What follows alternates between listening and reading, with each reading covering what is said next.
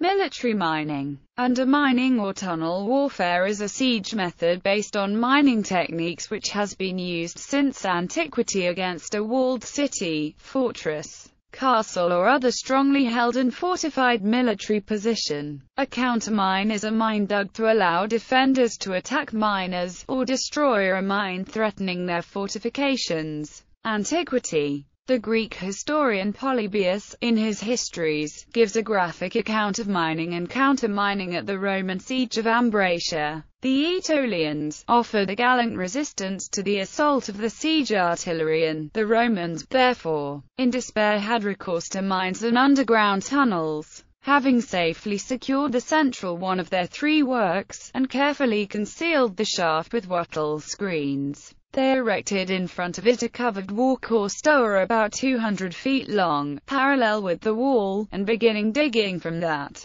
they carried it on unceasingly day and night, working in relays. For a considerable number of days the besieged did not discover them carrying the earth away through the shaft, but where the heap of earth thus brought out became too high to be concealed from those inside the city. The commanders of the besieged garrison set to work vigorously digging a trench inside, parallel to the wall and to the stoa which faced the towers. When the trench was made to the required depth, they next placed in a row along the side of the trench nearest the wall a number of brazen vessels made very thin, and, as they walked along the bottom of the trench past these, they listened for the noise of the digging outside. Having marked the spot indicated by any of these brazen vessels, which were extraordinarily sensitive and vibrated to the sound outside, they began digging from within, at right angles to the trench, another underground tunnel leading under the wall, so calculated as to exactly hit the enemy's tunnel. This was soon accomplished, for the Romans had not only brought their mine up to the wall, but had underpinned a considerable length of it on either side of their mine, and thus the two parties found themselves face to face.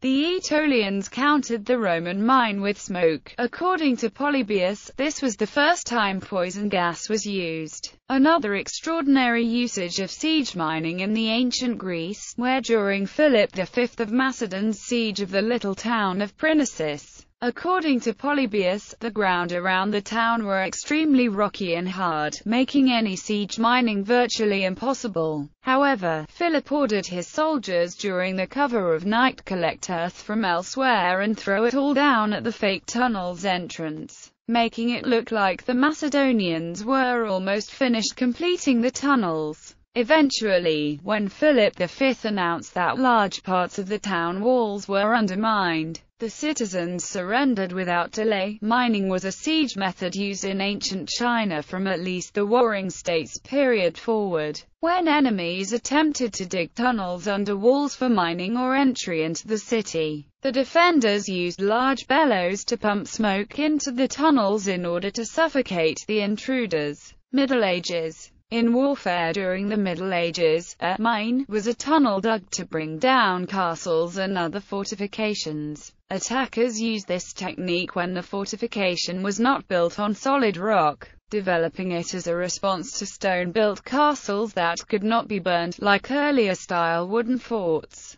A tunnel would be excavated under the outer defenses either to provide access into the fortification or to collapse the walls. These tunnels would normally be supported by temporary wooden props as the digging progressed. Once the excavation was complete, the attackers would collapse the wall or tower being undermined by filling the excavation with combustible material that, when lit, would burn away the props leaving the structure above unsupported and thus liable to collapse. Later, explosives like gunpowder were used for even greater effect. A tactic related to mining is sapping the wall, where engineers would dig at the base of a wall with crowbars and picks. Peter of Les Vaux-de-Cernay recounts how at the Battle of Carcassonne, during the Albigensian Crusade, after the top of the wall had been somewhat weakened by bombardment from petraries, our engineers succeeded with great difficulty in bringing a four-wheeled wagon, covered in ox-hides, close to the wall, from which they set to work to sap the wall, as in the siege of Carcassonne. Defenders worked to prevent sapping by dumping anything they had down on attackers who tried to dig under the wall. Successful sapping usually ended the battle, since the defenders would no longer be able to defend their position and would surrender. Or the attackers could enter the fortification and engage the defenders in close combat. Several methods resisted or countered undermining. Often the siting of a castle could make mining difficult. The walls of a castle could be constructed either on solid rock or on sandy or waterlogged land, making it difficult to dig mines. A very deep ditch or moat could be constructed in front of the walls, as was done at Pembroke Castle, or even artificial lakes, as was done at Kenilworth Castle. This makes it more difficult to dig a mine, and even if a breach is made, the ditch or moat makes exploiting the breach difficult. Defenders could also dig counter mines. From these they could then dig into the attackers' tunnels and sortie into them to either kill the miners or to set fire to the pit props to collapse the attackers' tunnel. Alternatively they could undermine the attackers' tunnels and create a camouflet to collapse the attackers' tunnels. Finally, if the walls were breached, they could either place obstacles in the breach, for example a cheval de frise to hinder a forlorn hope, or construct a coupure. The great concentric ringed fortresses, like Beaumaris Castle on Anglesey, were designed so that the inner walls were ready-built coupures. If an attacker succeeded in breaching the outer walls, he would enter a killing field between the lower outer walls and the higher inner walls. American Civil War During the Siege of Vicksburg, in 1863, Union troops led by General Ulysses S. Grant tunneled under the Confederate trenches and detonated a mine beneath the 3rd Louisiana Redan on June 25, 1863. The subsequent assault, led by General John A. Logan, gained a foothold in the Confederate trenches where the crater was formed, but the attackers were eventually forced to withdraw. A more famous instance occurred during the Siege of Petersburg. Union troops dug a tunnel under the Confederate lines at Elliott's Salient and packed its end with vast amounts of gunpowder. When set off, the resulting explosion killed about 300 soldiers. It might have been decisive if not for the faulty Union tactic of storming into, rather than around, the resulting crater, allowing the defenders to shoot down onto attackers unable to climb the steep crater sides. The combat was accordingly known as the Battle of the Crater. The horror of this engagement was portrayed in the Charles Frazier novel, and subsequent Anthony Minghella movie, Cold Mountain. World War I. Mining saw a brief resurgence as a military tactic during the First World War, when Army engineers attempted to break the stalemate of trench warfare by tunneling under no man's land and laying large quantities of explosives beneath the enemy's trenches.